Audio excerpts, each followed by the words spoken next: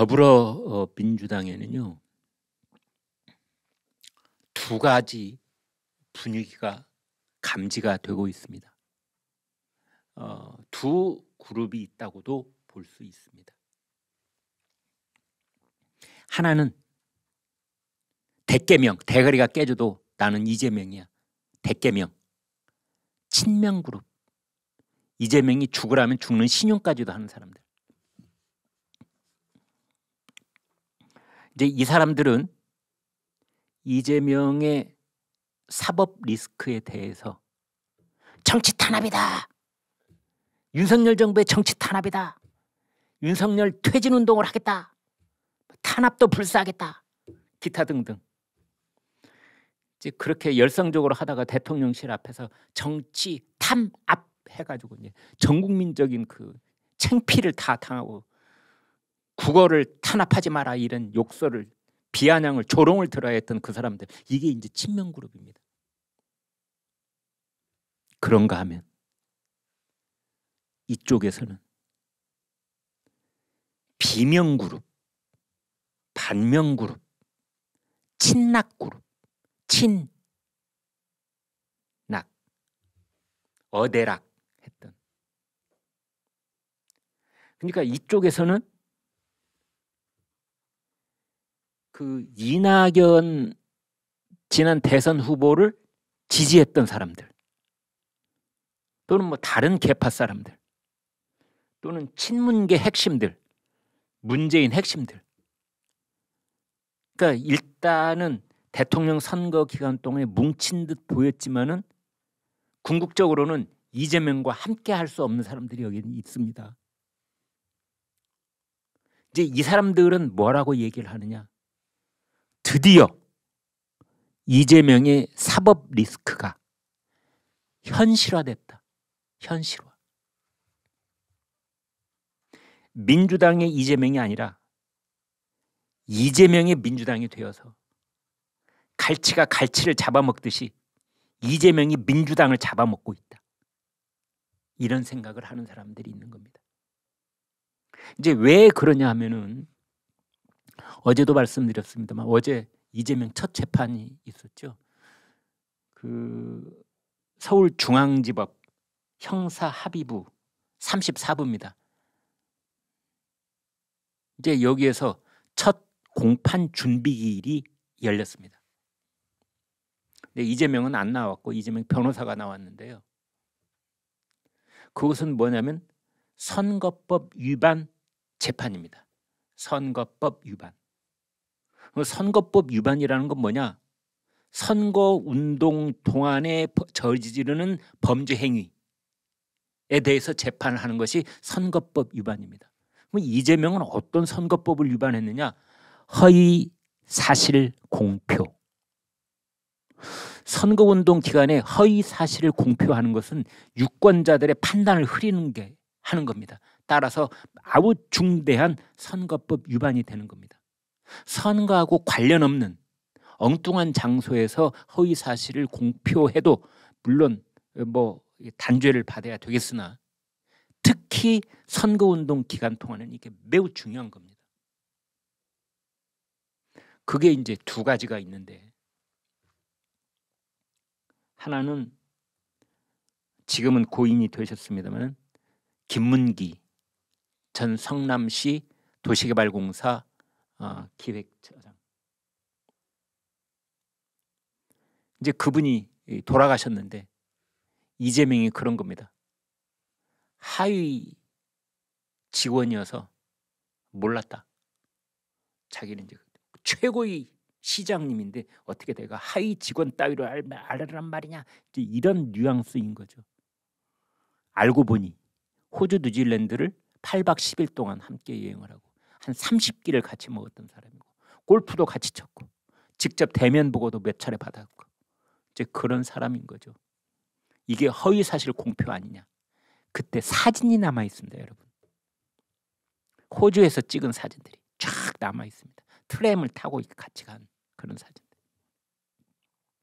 또 하나는 그 백현동 옹벽 아파트 있는 곳에서 한국식품연구원이 원래 있던 자리인데 그 식품연구원이 지방으로 내려가고 이제 그 자리를 이제 재활용을 해야 되는데 그게 원래 그 땅 용도가 자연 녹지입니다. 그래 이제 이거 민간 개발업자가 이걸 이제 상업용으로 써먹어야 개발 이익이 엄청 남, 남지 않겠습니까? 그래서 성남시의 용도 변경을 네 번이나 신청했는데 네 번 다 기각이 되는 겁니다. 반려, 거부. 그런데 이게 무슨 조화 속인지는 모르겠으나 이재명이 측근이었다는 사람을 그 민간 기업이 영입하는 순간 일사천리로 토지의 용도 변경이 이루어지는데 이것도 기네스북에 올라야 될 만큼 짧은 몇 달 동안에 네 단계를 점프를 합니다. 다른 민간 기업은 점프 한 번 하려면은 5년, 10년씩 걸리는 것이 네 단계 점프를 하는데 몇 달 만에 돼버리는 겁니다. 도깨비 방망이도 아니고. 이제 이것에 대해서 이재명 당시 성남시장한테 물었던 겁니다. 그랬더니 이재명이 뭐라고 대답을 했느냐. 국토교통부가 협박을 해서 어쩔 수 없이 성남시 같이 힘없는 지방자치단체는 그냥 그 협박에 굴복할 수밖에 없었다. 이렇게 얘기를 한 겁니다. 그러자 국토교통부가 펄쩍 뛰었습니다. 아니 협박이라니 무슨 소리를 이렇게 된 겁니다. 이제 여기에는 증거가 있습니다. 이렇게 공무원들끼리 성남시와 국토교통부가 얘기를 할 때는 전화 걸어서 그냥 농담하듯이 하는 게 아니고요. 다 공문이 가고 공문이 오는 겁니다. 국토부가 성남시로 보냈던 공문이 남아 있습니다.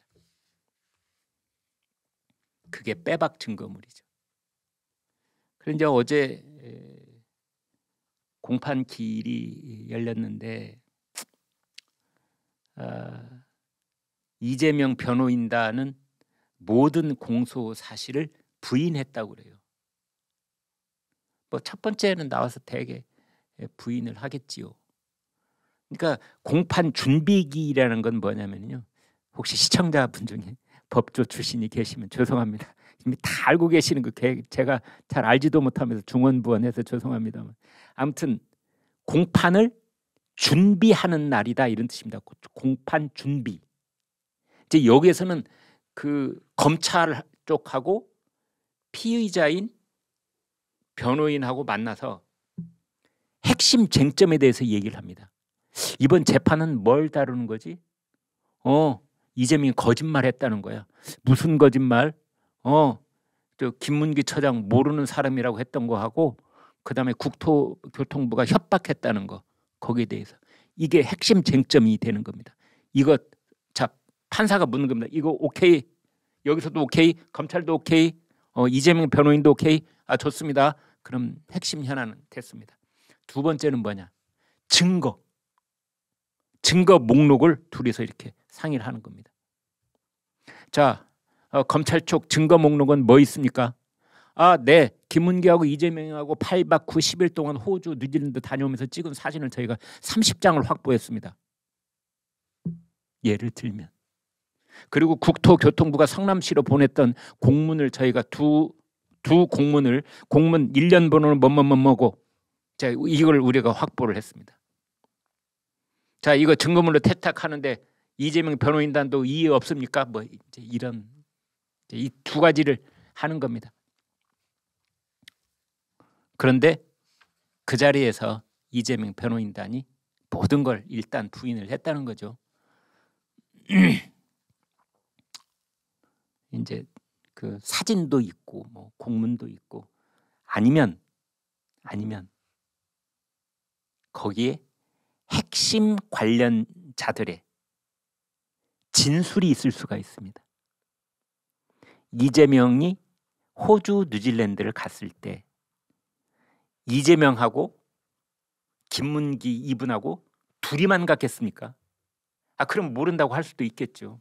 아마 그때는 같이 밥을 서른 끼 먹었는지는 몰라도 제가 워낙 고위직만 계속 다니다 보니까 기억이 안 났습니다라고 이재명은 말할 수 있는 겁니다. 주관적인 요소거든요. 기억이 난다 안 난다 이것은 뭐 뇌를 뇌파를 검사를 해가지고 어, 이 사람이 기억이 나는데도 불구하고 거짓말하고 있군 이렇게 뭐 증거를 낼 수는 없는 거 아닙니까? 그러니까 주관적으로 나는 기억 안 났다 해버리면 끝인데 이걸 뒤집는 것이 뭐가 있느냐? 아까 말씀드린 사진도 있겠거니와 거기에 N7 명이 함께 간 겁니다. 이재명, 김문기 전 처장, 유동규, 그 다음에 성남시 이제 공무원들이 함께 갑니다. 이 사람들이 참고인 진술을 했을 가능성이 있습니다. 또 성남시 압수수색을 할 때 그 컴퓨터에 남아 있는 기록들 이런 것들이 빼도 박도 못하는 증거가 돼서 이 정도면은 판사들이 봤을 때 야 이 정도면은 이재명이 김문기 전 처장을 몰랐다고 하기는 어, 상식적 수준에서 봤을 때 이건 불가능하다. 마치 형이 동생을 몰랐다고 하는 거랑 비슷한 거다. 이렇게 될 수가 있는 거지요.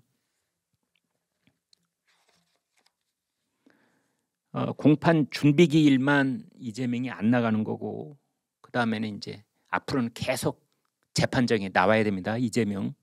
그러면 재판정에 들어갈 때, 재판정에 나올 때 어떻게 들어가고 어떻게 나오고 거기에 몰려든 기자들한테 어떻게 대답하는지 봐야 됩니다.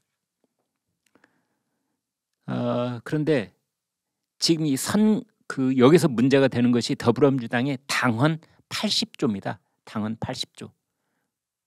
당헌 80조 제1항이 부정부패 혐의로 기소가 되면 그러니까 선고가 되지 않고 기소만 되면 당직에서 물러나도록 당원에 딱 돼 있습니다. 당 대표를 하고 있는 사람은 딱 당 대표 던지고 평당원으로 물러나야 되는 겁니다. 그런데 선거법 위반은 부정부패 혐의는 아닙니다.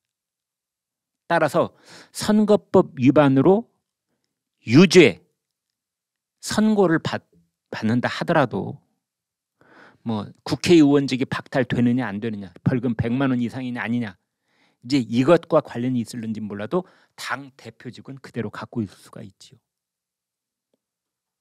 그런데 그거 말고 선거법 위반 말고 지금 이자, 이재명 대표 앞에 놓여 있는 이제 첩첩산중이 있는데 그 중에 하나가 성남 FC 기부금 의혹, 의혹 사건, 대장동 유래 신도시 특혜 비리 사건, 쌍방울 그룹 변호사비 대납 의혹 사건, 백현동 아파트 개발 특혜 사건, 경기 주택도시공사 GH 합숙소 선거 캠프 사용 의혹 사건 대여섯 가지가 있는 겁니다. 이것은 선거운동이나 선거법하고는 관련이 없는 부정부패 의혹인 겁니다. 그래서 이것이 유죄 혐의로 기소가 되고 유죄 혐의로 뭐 구속영장이 발부가 되고 이렇게 되면은 이제 이것은 빼도 박도 못하는 부정부패 혐의가 돼서 더불어민주당 당헌 제1조에 적용을 받게 되는 겁니다. 물론 당헌 제 80조 어, 제가 방금 1조라고 그랬습니까? 당헌 80조 1항 당헌 80조의 3항에는 그저 이재명 대표가 주재하는 뭐 당무위원회인가요? 거기 열어 가지고 거기에서 번복할 수 있게는 해 놓았습니다.